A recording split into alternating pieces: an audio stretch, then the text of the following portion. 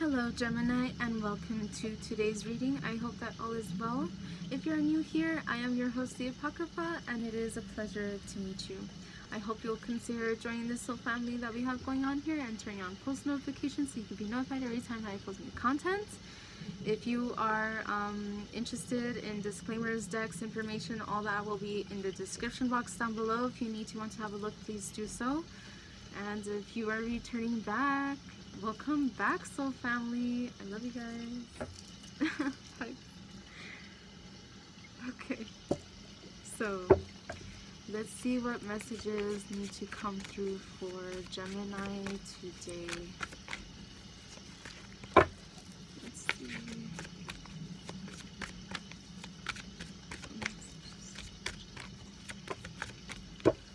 So the first card that we have is Judgment, Cerberus in reverse.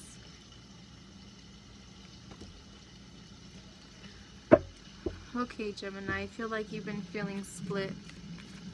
There are people around you that you may have been feeling judged by or you may have been judging harshly without understanding the full situation. If this is someone judging you and you feel called to open up so that they can understand your situation better, then consider doing so.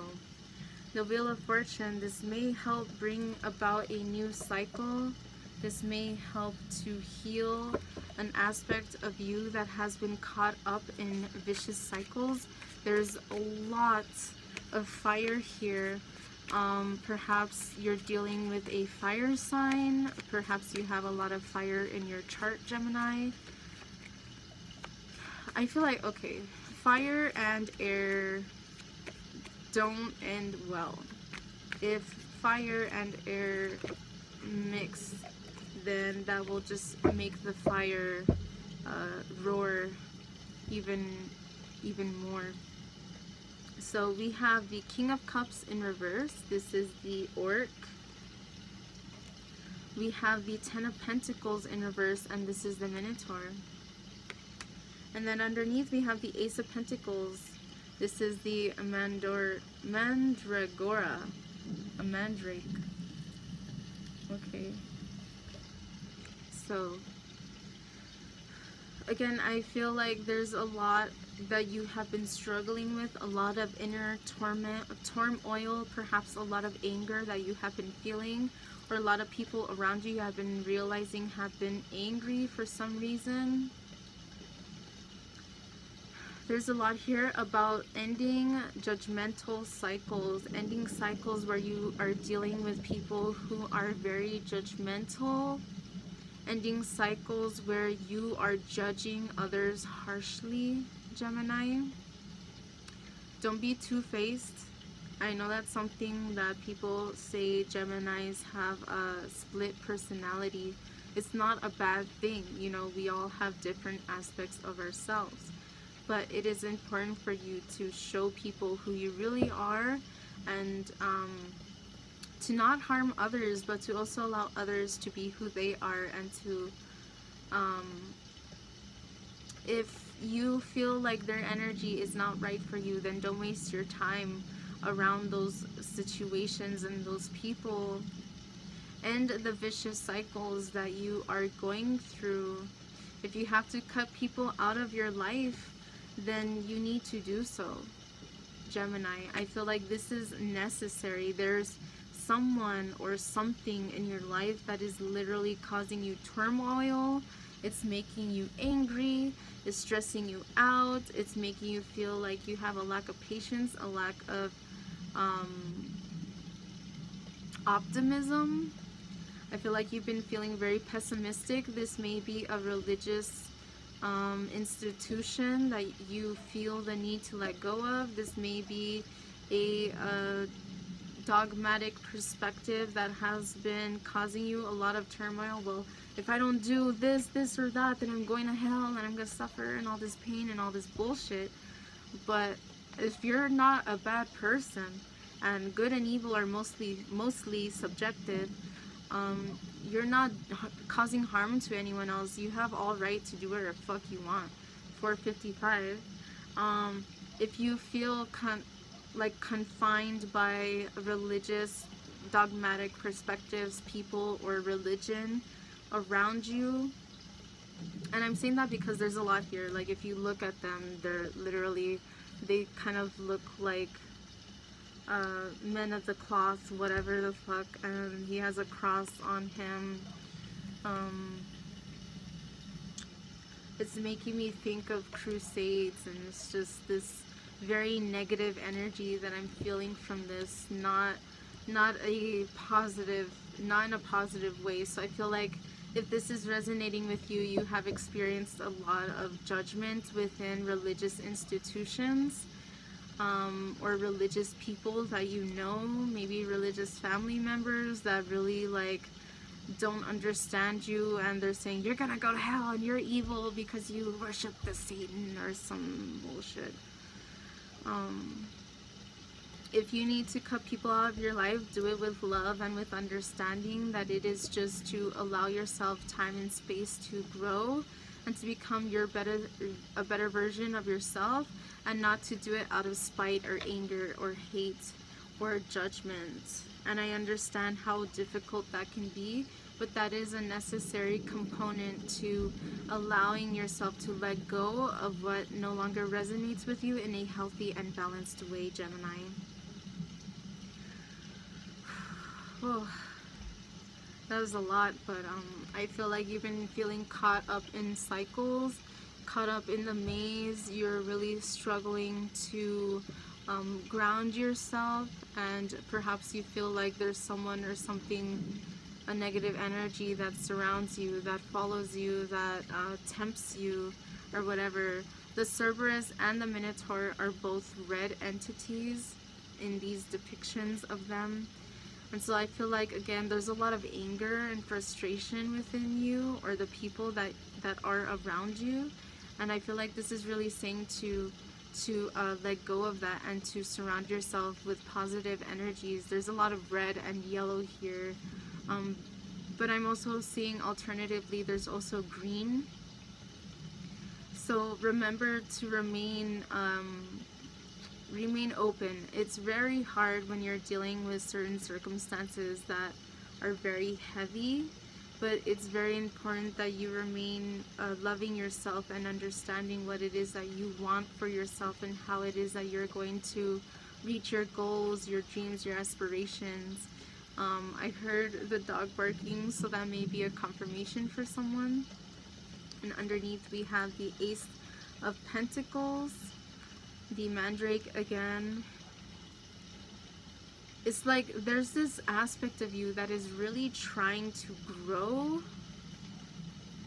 It's like a newfound passion that you have. You're trying to build something for yourself, something stable, and you're trying to let go of dogma, dogmatic perspectives that no longer serve you, that keep you bound and stuck, that make you feel like you're a bad person for no fucking good reason, just because he or she says that doing X, Y, and Z is evil don't mean shit.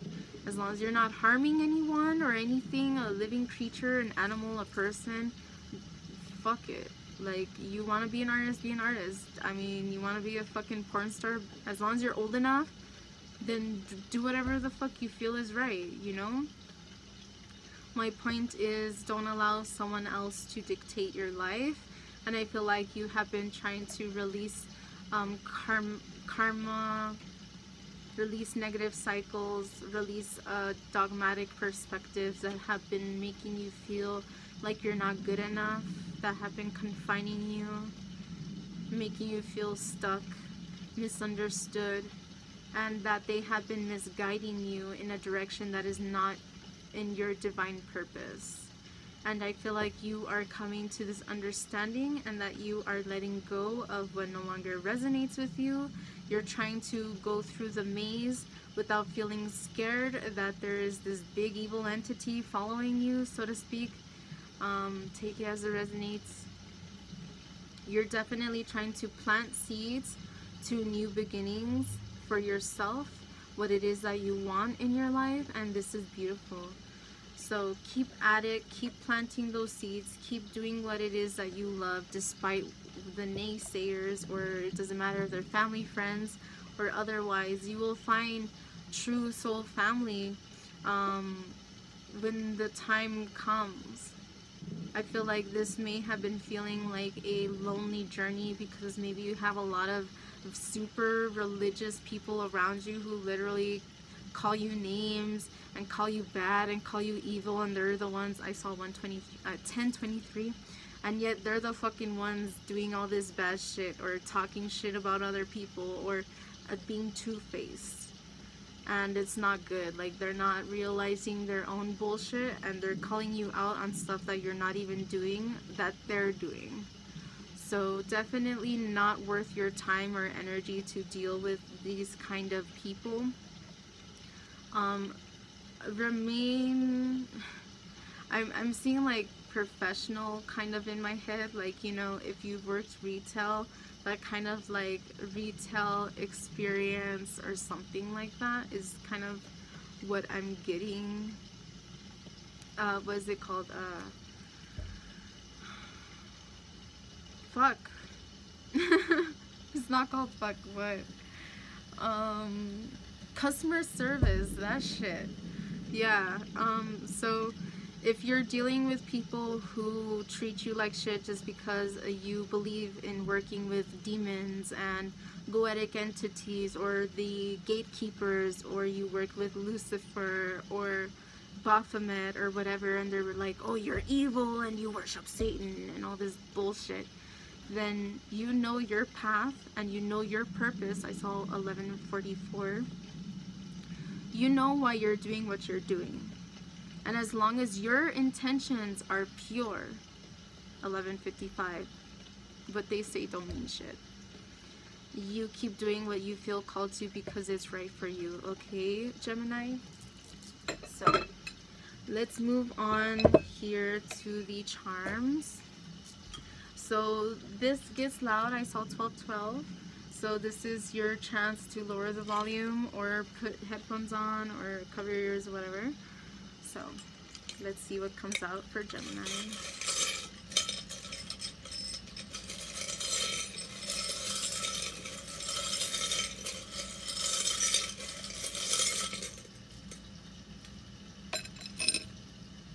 Okay. I feel like that one wanted to come out too. The one that was kind of looking at me was the red six. and then I just heard 666. Um, Six is a number of love. Six is a number of balance.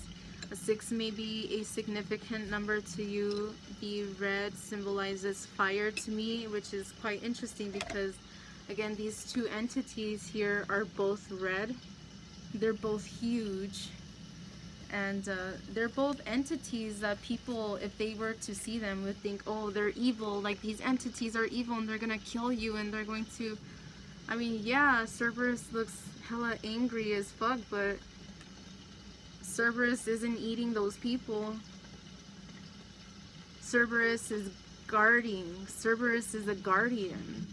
I saw 1333. 13 is the death card about change and transformation. Cerberus is a guardian. I feel like guarding, I, I just kind of felt like uh, guarding the gates of hell is something that I'm I felt called to say. I feel like this is an aspect that you feel like maybe there are aspects within you that have been guarded, that you're trying to unlock certain aspects within you. You're trying to understand yourself in a better, in a deeper, more intimate way. Um, where you are understanding your strength and everything. You're trying to find balance in your life and what it is that you're trying to do here we have the shark charm a little happy shark sharks are uh, like fucking awesome but they're fucking terrifying they're they're they're very interesting. I'm one of those people that has had so many shark nightmares dreams but um they're so fascinating. I saw 1441 so what i'm getting here with the shark is to be aware of two-faced motherfuckers okay? Because we all know that how dangerous sharks can potentially be. If they're hungry and you're there and there ain't nothing else around and they smell blood, you're dead. Like this, I'm getting here that there's some two-faced people around you that they show that they're all happy all the time and whatever and oh God is great and all of this but then they're over here plotting demises so to speak and that may be an exaggeration don't worry but um what I'm feeling here is like they may act one way with you but then behind closed doors like they're not your best friend so be very careful, perhaps best friend, it may be someone who you're close to, who has very different um, spiritual beliefs. And I don't know why for you guys today, I feel like there's a lot here about religion, a lot here about spirituality, a lot here about duality or um, difference. Um, that may be significant to some of you. I saw 1554 turn to 1555.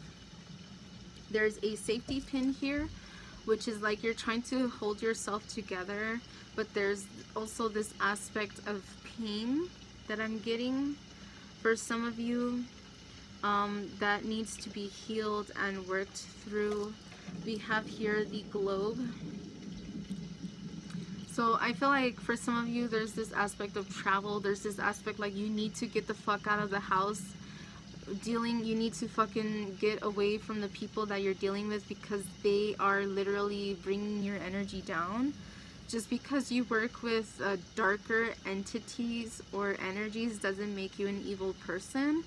Um, and I feel like there's this aspect here that you need to distance yourself from people who just don't fucking get it so for your own fucking sanity and different things like that um, it again it's out of love out of love for yourself and out of love for those people that you just know that you need to separate yourself from this situation and from these people because they're not allowing you to grow. They're not allowing you to grow.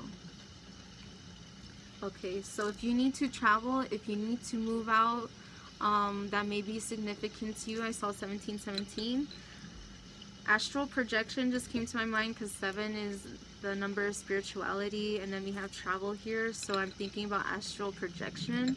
If that's something that you have been interested in look more into it um, and just be very careful because some people can literally get lost. Okay so we have here the the chain. This to me symbolizes uh, like the the devil card which is about attachment um, which is about um, addictions. Perhaps you may be so and then we have we have chains here as well. Maybe feeling so attached and bound. I feel like it's more about bondage. You feel bound. You feel misunderstood. I saw 1808 uh, there's these cycles again with the wheel of fortune as well. 8 is about cycles you feel bound and misunderstood, but there may also be certain addictions that you have that you need to work through. Okay, Gemini. So let's continue and see what chakra comes out for you today. Oh, okay, cool. We have the uh, crown chakra. So this is definitely saying to follow your intuition, follow the guidance that you are uh, receiving from the angels, demons, entities, gods, goddesses, whatever the fuck you want to call it that you work with. Um, follow the guidance. Question if it's right for you. Feel into it and follow it. Trust yourself, trust your higher self, and trust the wisdom that you feel is right. Okay, if you feel like something's not right, don't do it. Okay? So let's see what letters come out. This may be your initial, someone else that you're dealing with, um, maybe the initial of a place you want to apply to, or um, an object that you have or something. Take as it resonates. We have an A, we have a Z, we have K, F, D, U, P, and C. Okay, so those are the letters that came through and these are the messages that wanted to come through today for you, Gemini. I hope that this resonated and brought you some clarity and hope into your perspective, or hope and perspective into your situation. And thank you so very much for sharing your time and energy with me. I hope you'll consider joining this soul family and turning on post notifications so you'll be notified every time I post new content. And uh, thank you so much again. I love you guys and I hope to see you in the next one. Bye.